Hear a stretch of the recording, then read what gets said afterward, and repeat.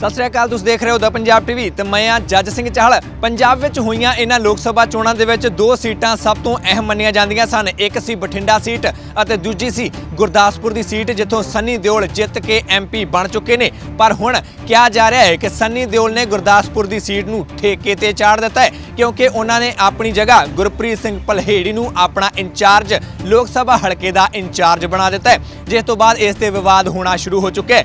Cabinet ਮੰਤਰੀ ਸੁਖਜਿੰਦਰ ਸਿੰਘ ਰੰਧਾਵਾ ਦਾ ਕਹਿਣਾ ਹੈ ਕਿ ਅਸੀਂ ਤਾਂ ਗੁਰਦਾਸਪੁਰ ਦੇ ਲੋਕਾਂ ਨੂੰ ਪਹਿਲਾਂ ਹੀ ਕਿਹਾ ਸੀ ਕਿ ਇਸ ਨੂੰ ਮੂੰਹ ਨਾ ਲਾਓ जो आदमी इलेक्शन में नहीं आया तो बाद में क्या करेगा वो रिप्रेजेंटेटिव लगा दे चाहे कोई लगा दे इस- इसका कोई फर्क नहीं पड़ेगा लोगों को जरूर निराशा हुई है हम हमने लोगों को कहा था कि इन आदमियों को ऐसे आदमियों को मुंह मत लगाइए और मैं, मैं एक बात मैं आप और आपसे और कहना चाहता हूँ कि देखिए मनोज खन्ना जी थे इससे बड़े बड़े वो सुपरस्टार थे उन्होंने भी अपना रिप्रेजेंटेटिव नहीं लगाया था। उनकी वाइफ वहाँ बैठकर काम किया करती थी कविता Khanna ji, सुखवंश Kaur, Bhinder, Pratap Singh Bajwa.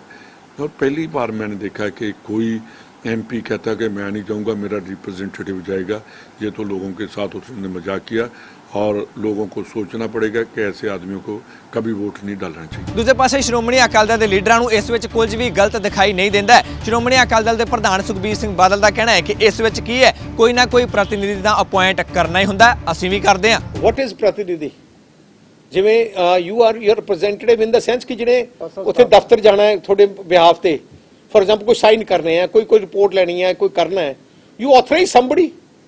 Authorise somebody so doesn't mean ਹੁਣ I also authorise every MP authorises his PA staff ਜੋ ਪਰਸਨਲ ਸਟਾਫ ਹੁੰਦਾ ਦੈਟ ਇਜ਼ ਯੂ ਆਥੋਰਾਈਜ਼ ਇਸ ਸਾਰੇ ਵਿਵਾਦ ਤੋਂ ਬਾਅਦ ਸਨੀ ਦਿਓਲ ਨੇ ਆਪਣੀ ਫੇਸਬੁੱਕ ਤੇ ਇੱਕ ਪੋਸਟ ਪਾਈ ਹੈ ਜਿਸ ਦੇ ਵਿੱਚ ਉਹਨਾਂ ਨੇ ਇਹ ਸਾਫ਼ ਕਰਨ ਦੀ ਕੋਸ਼ਿਸ਼ ਕੀਤੀ ਹੈ ਕਿ ਉਹਨਾਂ ਨੇ ਕੁਝ ਵੀ ਗਲਤ ਨਹੀਂ ਕੀਤਾ। ਉਹਨਾਂ ਦਾ ਕਹਿਣਾ ਹੈ ਕਿ ਨਜਾਇਜ਼ ਮੇਰੀ ਇਸ ਗੱਲ ਤੇ ਵਿਵਾਦ ਕੀਤਾ ਜਾ ਰਿਹਾ। ਮੈਂ ਗੁਰਪ੍ਰੀਤ ਸਿੰਘ ਪਲਹੇੜੀ ਨੂੰ ਆਪਣਾ ਇੰਚਾਰਜ ਆਪਣਾ ਪ੍ਰਤੀਨਿਧੀ ਨਿਯੁਕਤ ਕੀਤਾ ਹੈ ਤਾਂ ਜੋ ਗੁਰਦਾਸਪੁਰ ਦੇ ਕੰਮਾਂ ਨੂੰ ਲੈ ਕੇ ਕੋਈ ਵੀ ਅੜਚਨ ਨਾ ਸਕੇ। ਉਹਨਾਂ ਦਾ ਕਹਿਣਾ ਹੈ ਕਿ ਮੈਂ ਜਦੋਂ ਮੁੰਬਈ ਹੋਵਾਂ ਜਾਂ ਫਿਰ ਕਿਤੇ ਹੋਰ ਕੰਮ ਲਈ ਗਿਆ ਹੋਵਾਂ ਉਦੋਂ ਕੰਮ ਦੇ ਵਿੱਚ ਰੁਕਾਵਟ ਨਾ ਆਵੇ, ਸਰਕਾਰੀ ਕੰਮ ਚੰਗੀ ਤਰ੍ਹਾਂ ਚੱਲ ਸਕਣ, ਜੋ ਵੀ ਐਮਪੀ ਨੇ ਕਰਨੇ ਹੁੰਦੇ ਨੇ। ਇਸੇ ਕਰਕੇ ਉਹਨਾਂ ਨੇ ਨਿਯੁਕਤ ਕੀਤਾ ਆਪਣਾ ਪ੍ਰਤੀਨਿਧੀ ਗੁਰਪ੍ਰੀਤ ਸਿੰਘ ਪਲਹੇੜੀ ਨੂੰ। ਇਸ ਦੇ ਵਿੱਚ ਕੁਝ ਵੀ ਗਲਤ ਨਹੀਂ ਹੈ। ਉਹਨਾਂ ਦੀ ਮਨਸ਼ਾ ਇਹ ਹੈ ਕਿ ਗੁਰਦਾਸਪੁਰ ਦਾ ਕੰਮ ਨਾ ਰੁਕੇ, ਭਾਵੇਂ ਉਹ ਗੁਰਦਾਸਪੁਰ ਦੇ ਵਿੱਚ ਮੌਜੂਦ ਹੋਣ ਜਾਂ ਫਿਰ ਨਾ ਹੋਣ।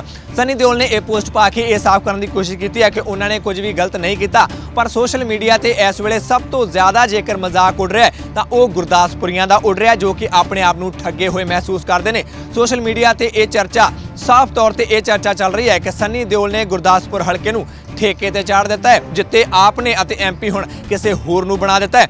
ਮੰਨਿਆ ਇਹ ਜਾਂਦਾ ਹੈ, ਸੋਸ਼ਲ ਮੀਡੀਆ ਤੇ ਚਰਚਾ ਇਹ ਚੱਲ ਰਹੀ ਹੈ ਕਿ ਸੰਨੀ ਦਿਓਲ ਸਿਰਫ ਜਿੱਤਣ ਦੇ ਲਈ ਆਏ ਸਨ, ਭਾਰਤੀ ਜਨਤਾ ਪਾਰਟੀ ਦੇ ਲਈ ਇੱਕ ਸੀਟ ਜਿੱਤਣ ਦੇ ਲਈ ਆਏ ਸਨ ਅਤੇ ਉਹਨਾਂ ਨੇ ਇੱਕ ਸੀਟ ਜਿੱਤ ਲਈ ਹੈ, ਇੱਕ ਨੰਬਰ ਵਧਾ ਦਿੱਤਾ ਹੈ ਭਾਰਤੀ ਜਨਤਾ ਪਾਰਟੀ ਦੇ ਲਈ। ਉਹਨਾਂ ਦੀ ਸਰਕਾਰ ਬਣਾਉਣ ਦੇ ਵਿੱਚ ਮਦਦ ਕਰ ਦਿੱਤੀ ਹੈ ਅਤੇ ਉਹਨਾਂ ਦਾ ਗੁਰਦਾਸਪੁਰ ਦੇ ਨਾਲ ਕੋਈ ਵੀ ਲੈਣਾ ਦੇਣਾ ਨਹੀਂ ਹੈ। ਕਾਂਗਰਸ ਪਾਰਟੀ ਦਾ ਕਹਿਣਾ ਹੈ ਕਿ ਅਸੀਂ ਤਾਂ ਲੋਕਾਂ ਨੂੰ ਕਿਹਾ ਸੀ ਕਿ ਅਜਿਹਾ ਨਾ ਕਰੋ, ਇਹ ਇੱਥੇ ਨਹੀਂ ਰਹੇਗਾ। ਮੁੰਬਈ ਜਾਏਗਾ ਅਤੇ ਦੁਬਾਰਾ ਆਪਣਾ ਕੈਰੀਅਰ ਕੰਟੀਨਿਊ ਕਰੇਗਾ ਅਤੇ ਅਜਿਹਾ ਹੀ ਹੁੰਦਾ ਹੁਣ ਦਿਖਾਈ ਵੀ ਦਿੰਦਾ ਹੈ। ਕਾਂਗਰਸ ਪਾਰਟੀ ਅਜਿਹੇ ਇਲਜ਼ਾਮ ਲਾ ਰਹੀ ਹੈ। ਹਾਲਾਂਕਿ ਸਨੀ ਦਿਓਲ ਆਪਣੇ ਆਪ ਨੂੰ ਪਾਕ ਸਾਫ਼ ਦੱਸਦੇ ਇੱਥੇ ਦਿਖਾਈ ਦਿੰਦੇ ਨੇ।